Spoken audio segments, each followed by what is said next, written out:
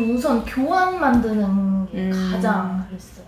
음. 그리고 이게 학습 목표나 이런 걸 설정을 해야 되잖아요. 음. 근데 학습 목표도 솔직히 설정을 못 하겠는 거예요. 음. 그래서 그 부분에 대해서 뭐 어떤 식의 말이 들어가고 뭐 교육을 해야 되고 이런 걸 잘 몰랐는데 음. 그런 부분에서 코치해 주셔서 음. 너무 잘 알았고 그게 설정이 안 되니까 교환을 진짜 못 만들었던 거라는 걸 음. 너무 잘 알게 됐어요. 음. 그리고 어, 대부분 약간 친해지면 너 그거 했으면 좋다 그 교환 줘막 이런 음. 대화가 은근히 많더라고요. 음. 근데 강사님들이 이제 그런 거 약간 하면 조금 주춤거리시는 음. 분들이 굉장히 많으셨어요. 저왜 그 주춤거리신지 알아요? 어, 그 교환이 되게 오랜 시간과 네. 고민이 많이 들어가는. 제가 10분 하는데 9시간 저 사실 듣고 너무 놀랐어요. 강사님들 1시간 하는데 얼마나 들어오시겠어요? 근데 한 시간 만데 진짜 막 밤새는 경우도 있고. 그러니까 어. 되게 오래 준비하는 거죠. 그렇죠. 그래서 그런 자료 수집이랑 내용 1차 원고 같은 거를 무조건 만들어 놔야 돼요. 그게 없어서 오래 걸린 거지 이제 계속 하시다 보면 분명히 짧아질 거예요. 단기적으로. 음. 하다 보면은 이제 나의 습관들이 많이 나오잖아요. 음. 어, 그것도 코칭이 너무 음. 도움이 많이 됐던 것 같아요. 같이 영상 보니까 저도 다시 또 보면 또 보이는 게 있고 맞아요. 본인도 사실 본인 거 잘 안 보니까 민망하지만 이때 한 번 더 보는 거. 네. 브리핑 강의를 그만두신 이유도 알려주실 수 있어요? 영업을, 영업이라는 게 기본급이 없잖아요. 음. 제가 한 영업은 음. 보험 영업이다 보니까. 그래서 제가 말씀드렸다시피 오래 못한다고 음. 말씀드렸잖아요. 멘탈이 나가면 업적이 안 나와요. 음. 근데 내가 그만큼 돌아다녔고 그만큼 음. 밥을 먹고 그만큼 음. 기름값을 썼기 때문에 그 다음 달에 내야 되는 돈이 있는데 음. 돈 월급이 나오질 않으면 그거를 음. 2, 3개월 버틸 수가 없죠. 저도 음. 이제 하다가 힘들고 음. 멘탈도 나가고 이러다 보니까 그만두게 된 것 같아요. 그게 사실 이거는 하는 만큼 벌고 또 하는 게 없으면 떨어지고 이런 게 기복이 있잖아요. 네. 뭐 어떤 영업도 마찬가지지만. 근데 또 이제 사내 강사로 들어가시면 월급이라는 게 있지만 또 생각 그 전에 받았던 것보다 또 적을 수 있을 수 있거든요. 네. 그래도 괜찮아요. 그냥 정해진 월급 받는 게 나은 것 같아요. 뭐 어떤 달은 막 700만 원 벌었는데 어떤 달은 막 돈 아예 못 아, 벌고. 뭐 이러면 더 힘들어요. 그쵸 힘들죠. 왜냐하면 사람이 700만 원을 벌면 다음 달에 또 벌리겠지 하고 그 돈을 쓰게 돼요. 음. 그럼 그 다음 달에 됐는데 돈 못 벌어봐요. 그럼 빌려야 돼요 친구한테. 네. 음. 그래서 고정적으로 조금이더라도 네. 고정적으로 나오는 게 좀 안정적이다. 네. 두 개 해보시니까 느껴지시겠네요, 더. 네. 강사님의 이제 프라이드가 강하신 분은 아예 못하죠.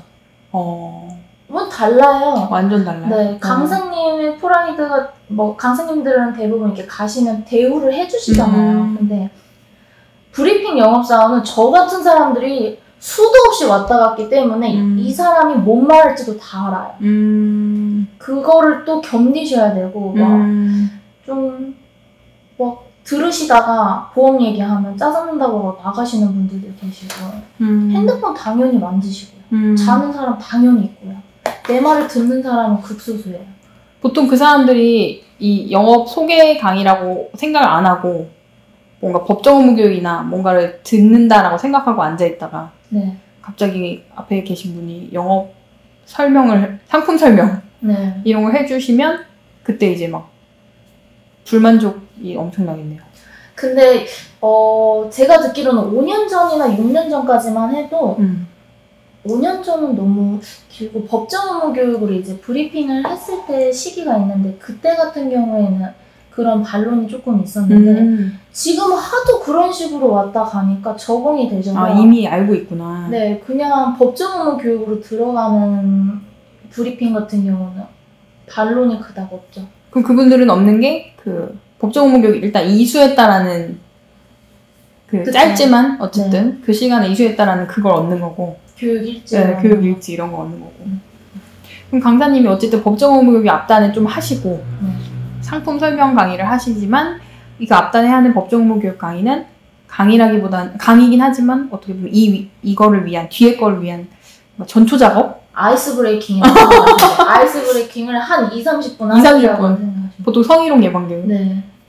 그러니까 선물도 주고 막 이러면서 음. 왜냐면 다른 강사님들 강의랑 다르게 저희는 ice breaking이 더 길게 가기 가야 되는 건 맞아요. 왜냐면 음. 이 사람들은 이제 교육을 듣는다고 하지만 뒤에 영업을 분명히 한다라는 걸 알기 때문에 더 벽이 쳐져 있단 그쵸, 말이에요. 그쵸, 그쵸. 그래서 그 법정 의무 교육으로 2, 30분 정도 거의 그냥 ice breaking 들어간다 생각하시면 주변에 만약에 강사분이 영업 브리핑 강의 하겠다, 주변에 지인이 추천해 주실 수 있어요? 저 돈만 보고 쫓아가겠다 하시면 이 일 추천해 드릴 수 있어요. 음. 근데 솔직히 말하면 다른 제가 이거 그만두면서 다른 영업도 한번 알아봤거든요. 어. 어, 뭐 부동산이나 뭐 분양이나 음. 이런 것도 많이 알아봤는데 솔직히 다른 영업보다는 훨씬 더 쉬, 쉬운 것 같아요. 어. 다른 영업보다는. 어. 왜냐하면 사람을 우선 인원을 모아주기 때문에 음. 그 정도의 기회는 받을 수가 있잖아요. 음. 근데 다른 영업은 내가 이거 해보시라고 권유하고 데리고 음. 와서 설득하고 이래야 되기 때문에 음. 그런 것보다는 네, 좀 괜찮은 것 같아요. 음. 이 우리가 막 가서 막 발로 뛰고 해야 되는 그런 영업보다는 모아져 있기 때문에 조금 네. 더 수월하다. 그쵸? 그러니까 근데 저는 계속 의아한 게 강사가 아니라 정말 영업직 네. 이런 느낌이 되게 강하네요, 확실히. 돈 쫓아가시는 걸 선택을 하실 거면 브리핑 강의 어. 선택하시는 게 맞고요. 아니면 나는 돈을 조금 벌더라도 음. 내 강사의 프라이드를 지키고 싶다 음. 그러시면 절대 하시면 안 된다고 저는 어. 말씀드리고 싶어요.